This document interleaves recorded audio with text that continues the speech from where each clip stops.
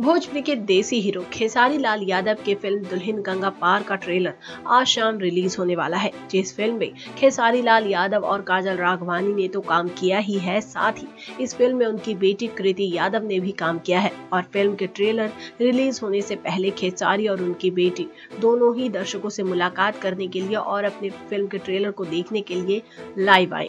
जी हाँ और लाइव आते के साथ ही खेसारी लाल यादव ने सबसे पहले कहा कि ये जो फ़िल्म का ट्रेलर आ रहा है दुल्हन गंगा पार की, ये फ़िल्म मेरी नहीं है, बल्कि ये फ़िल्म मेरी बेटी की है, जो कि इसकी पहली और आखिरी फ़िल्म है। और मैं चाहता हूँ कि आप लोग इस फ़िल्म के ट्रेलर को इतना प्यार दे कि ये फ़िल्म का ट्रेलर भोजपुरी के बने हर रिकॉर्ड को तोड़ सके। वैसे खेसारी लाल यादव ने ये नहीं बताया कि आखिर वो क्यों नहीं चाहते कि उनकी बेटी फ़िल्मों में काम करे। वैसे खेसारी लाल यादव की इस फ़िल्म को हर किसी को बेसब्री से इंतज़ार है और आज फाइनली इस फ़िल्म का ट्रेलर रिलीज़ होने वाला है। नेक्स्ट नाइन न्यूज़ भोजप्रिया से प्रियंका की report